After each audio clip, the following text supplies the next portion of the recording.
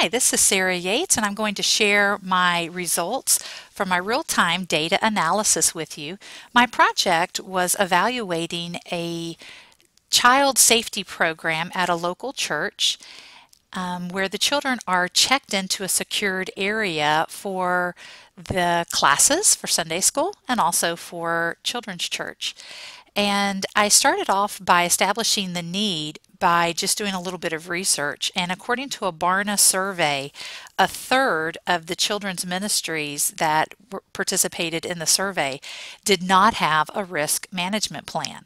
And it is just a part of being a good shepherd to be sure that your sheep are cared for. And so pastors really need to think about implementing a risk management plan, um, a prevention program, if they have not already done so. Risk management is a biblical responsibility, and we need to take care of even the youngest worshipers in our um, congregations. So the place that I uh, conducted my research has about 80 children signed in on a typical Sunday morning. And the system that they use is called KidCheck.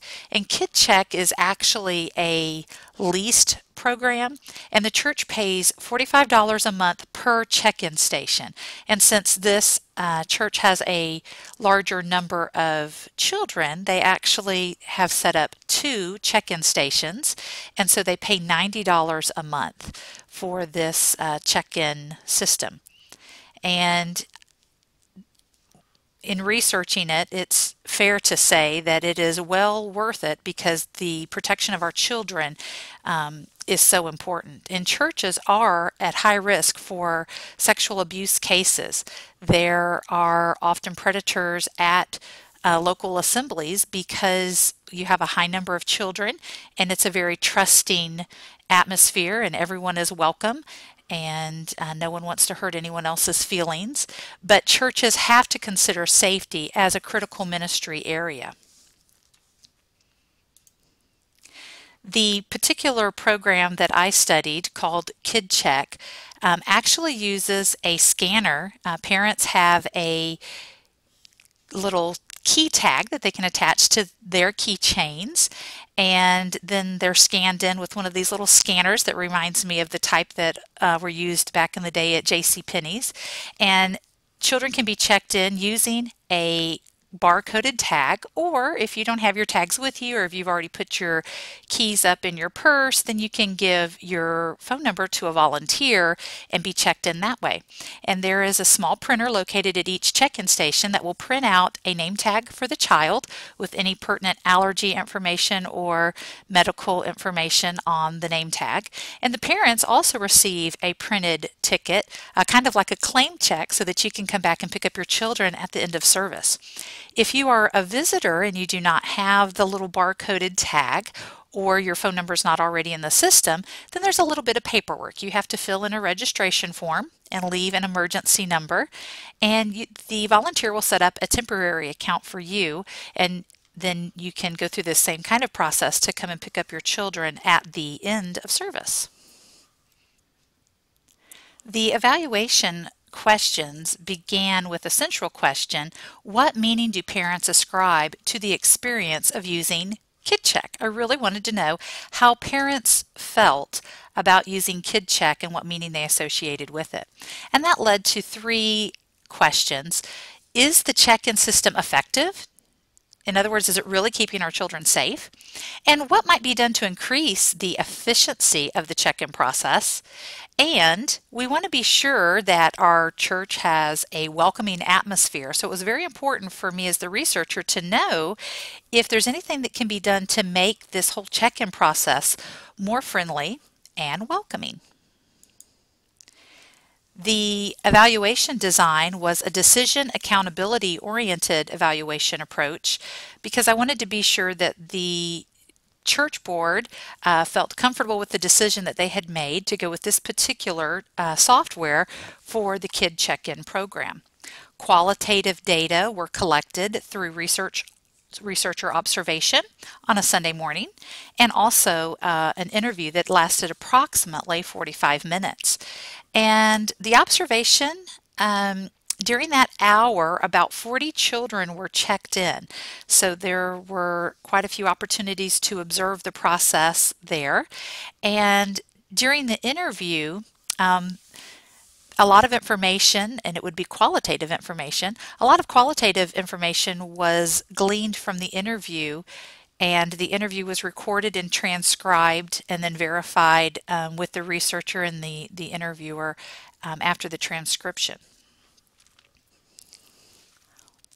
Comparing the data from the observation and the interview helped establish reliability in this study. And when it was time to analyze the information from the study, a phenomenological method was used. And if I could insert sound in this pictographic, I wanted to put the Muppets in singing Phenomenon, Phenomenon. So if you can imagine that, one of the ladies in cohort B told me that's how she learned to say phenomenological method. Um, I said it was a little bit ironic that I was including that in my study because I have so much trouble pronouncing it. But anyway, in uh, adhering to this method, the researcher bracketed past experience and focused on the collected data. And um, using multiple sources uh, then went through and found significant statements.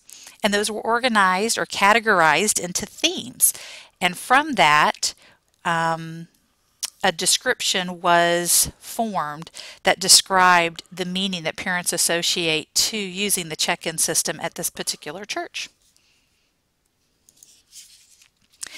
And um, the significant statements resulted in these categories, and it was a, a big part of the study to note the building of relationships and the people that paused to greet one another and to take time to build relationships at the kid check-in station. And that was a huge part of the observation uh, process. And often you would have families rushing in at the last moment and they did not have a lot of time to check in before Sunday school started or before the morning worship service started. And I think that's very typical of families with young children rushing in and, you know, hurry up, honey, we got to get in there and check in the children, be sure that they get dropped off and then get on to our own class. So that was another theme that resonated um, in the data. And um, a mom also noted that it seemed to be very organized to her. The whole check-in process um, was organized. Um, she did feel like it was um, a safety feature and so that the church was taking an extra step um, in safety. And she did mention that sometimes parents are having to wait in line um, just because of the volume of people checking in at a particular time in those few minutes just before church started. Uh, the interview brought in a lot of data regarding the participants' prior experience in visiting the same church before there was a kid check program established. And a lot of data from that was very helpful and useful in comparing before and after having a kid check system.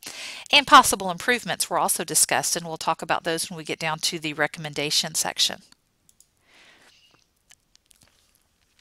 The conclusions um, to the research questions First of all, the kid check process was effective.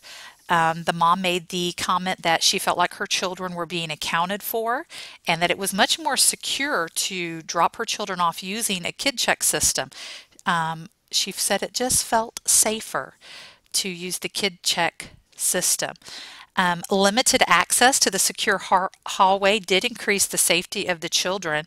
Um, parents of very young children, of course, are allowed into the secure zone to escort their children to the doors of their classrooms.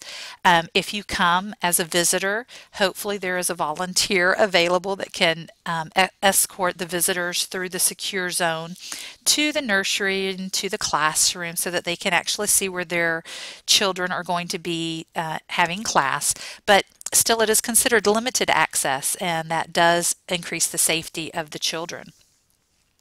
And it is efficient. The volunteers at the two safety stations efficiently check in 80 children in the approximate time of about an hour each Sunday morning. Um, and that includes nursery age, junior kids church, and regular kids church.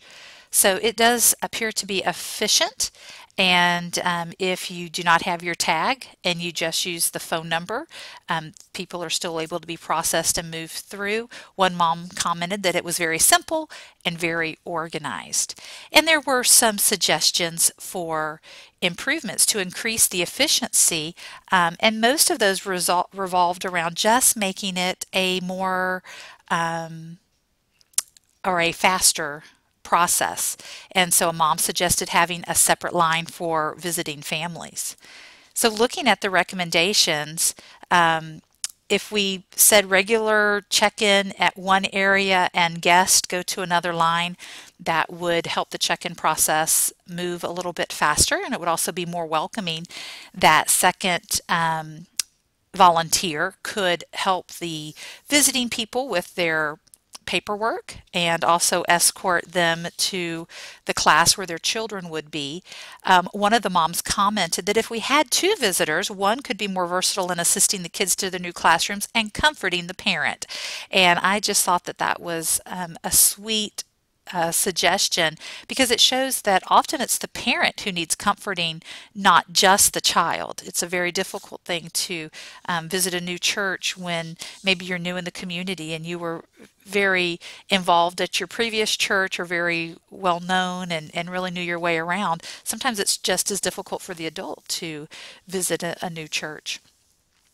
Um, it was noted by the researcher that all of the church staff and volunteers did not have up-to-date photo badges for identification and so one recommendation would be to um, be sure that those badges are updated and also to keep a printed copy of the uh, check-in roster at each station. That way if there was ever a power outage or an interruption in service it would be easier to track the children manually. And the suggestion, of course, for having the visitors go to a separate podium um, and have an additional volunteer to escort them um, to the classes would make it more friendly and welcoming. And um, an informative flyer would be great to give parents at the check-in station. That flyer could educate the parents about the children's ministry safety procedures and give them information about how they can sign on to KidCheck on the internet and start their own account and upload photos for security purposes if they plan on becoming a regular attendee of this particular church.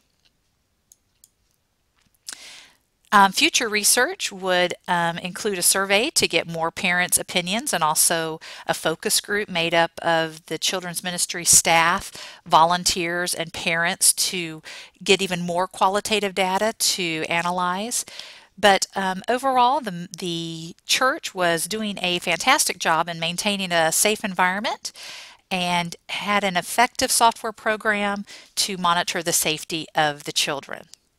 Thank you.